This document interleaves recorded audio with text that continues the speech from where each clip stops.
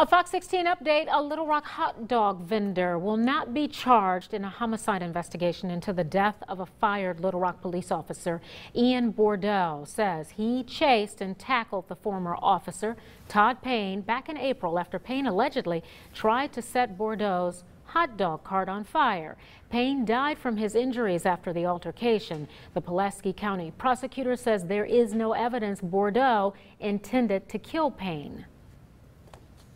It's affected our whole lives. It's dominated our whole lives. I mean, everything that we do now is colored by this and will be for the rest of our lives in one way or another. Um, what it has caused us to do is reflect on what's important to us here. That's encouraging that the process can work sometimes. And in this case, it did. Bordeaux has said he never intended to hurt Payne, just hold him until police